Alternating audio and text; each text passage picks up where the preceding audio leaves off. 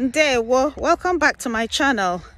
I'd like to answer one question that keeps cropping up, and that is how long does it take to learn Igbo language?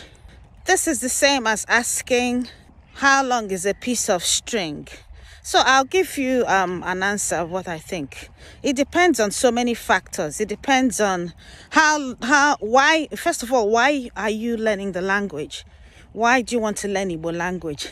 Secondly, how much time are you willing to commit to learning Igbo language?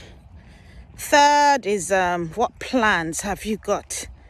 You need to set a plan in place. If you don't have a plan, you're not going to go far with the language and then your affinity and then what materials you have and that's it basically so there's no one straight answer